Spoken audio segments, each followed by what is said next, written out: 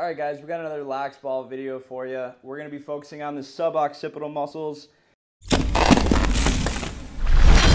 So this one's for all my desk workers, uh, people that carry stress up here, or just people with frequent headaches.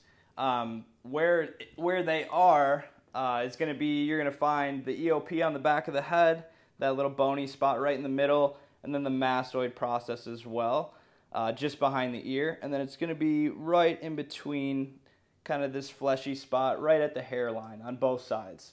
So what you can do is lay down and put one ball on the back and just kind of, I like turning my head side to side, finding a nasty spot.